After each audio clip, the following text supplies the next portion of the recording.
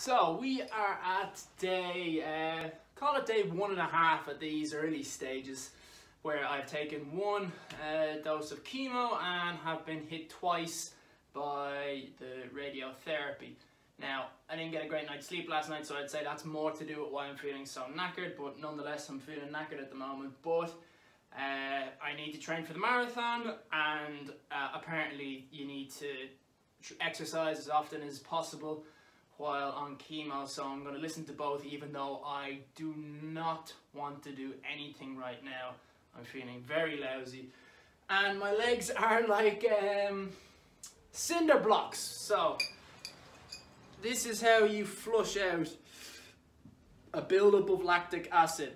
Any kind of a an object will work. So rolling pin, you can spend money on uh, sports equipment that's specifically designed for this, but I mean, you know, anything that will uh, have a smooth surface area and try to put it over clothes if you need to get a um, uh, spandex, spandex tights if you have those like to keep yourself warm. If you have them put them on. They work really well. And then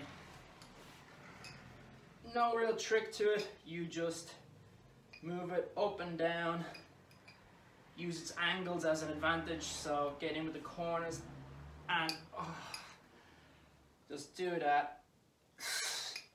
If you really want to get it done get a super friend to come in and get them to do it for you because your body can't help but um, hold back on how much pressure you put in. Also the angle. It can't really get the just the right angle. It can get close but not perfect.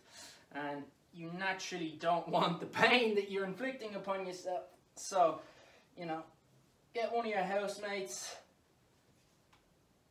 or you know, girlfriend, boyfriend, wife, husband, etc. Very intelligent pet chimp, and generally the rule of thumb is that you always, when massaging for sports or in general, I think you always push towards the heart. But you know, this pulls up my shorts, so um, it's just more efficient to do it this way and it doesn't make a huge difference. Think of it like 5% difference at most. do it on both sides.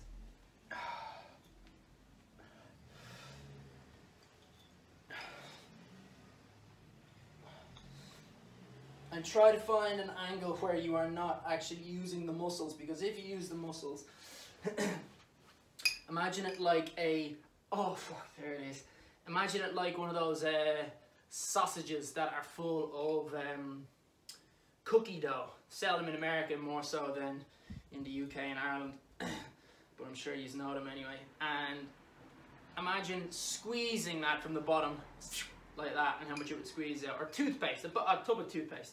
Imagine how easy it is to squeeze out when the toothpaste bot thing is, uh, is loose and uh, squeezable versus if it was to come in a glass uh, or something solid. You Squeezing this is not going to make the toothpaste come out. So when your legs are tense, they're holding the lactic acid inside the muscle. So you have to try and uh, make your leg longer. I don't, you can't really see that, but my leg is long and relaxed as possible. And that way you're able to get deeper in and flush out that lactic acid. now, that's all I can really get a good angle on at the moment. My calves are fine, so I'm not going to bother with them. It's all just just here because I played a, I played a match of touch rugby before um, on Sunday because during the chemo I won't be able to do it again so I just kind of took my opportunities to try and do something fun before I couldn't. Terrible idea and I'm suffering for it now. So second one, getting into foam rolling. If you haven't heard of foam rolling before, this is a great way to warm up both for, oh, both for, uh, warming up and cooling down, both for um, it physically warms up your um, muscular tissue and then also it helps flush out a buildup of lactic acid.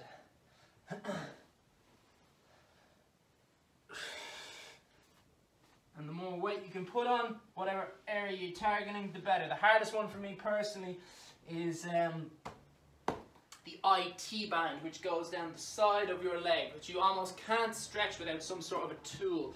And what you do for that, this angle is poor, but you know, I'm just working with what I have. Bring one knee up bring the foam roller underneath. So I need one leg up because I'm just too heavy and can't take the pain. And then roll up. If you have something like I have my bed here, you can take a little bit more weight off and you can get the right angle. Ah, ah, ah. Sometimes you can't get the angle because it's too too painful. So you kind of, if I didn't have the hand, I would have to just go past it too quick and it would defeat the purpose.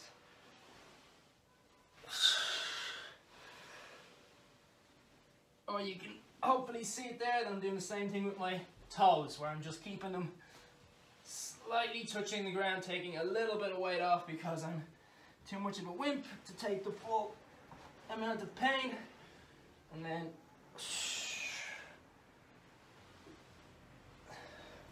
switching over. And again, you can do this as a warm up and a cool down. It's not like uh, like stretching where you should only do a certain type of stretching called dynamic stretching. Dynamic stretching being that you flick your leg up and down to simulate a movement rather than hold the pose like so. But uh, foam rolling is pretty much, well it's not pretty much, but it's, uh, it's similar either side. So now I'm just gonna go out for a trot. I'm gonna keep it light. Most of its reason is to, uh, as I've said, try to just flush out the buildup of lactic acid because it's Tuesday today and when I was playing it was Saturday. So it should be done by now, but because I haven't played uh, touch rugby in a while, I've been running. Uh, I don't run the same way playing touch rugby. It's all stop, start, sprint, go backwards. And um, so it's different muscles. It's mostly the hip flexors and definitely more the quads than uh, normally it will be my caps because they are they are the muscle that's being used the most because they are constantly just keeping the, the bounce in the upper body. Whereas when you're changing angles and stopping and restarting, it's more about the power of the increase in speed that comes from your calves. Hi, that's the 5k over and it is shit. It is absolutely shit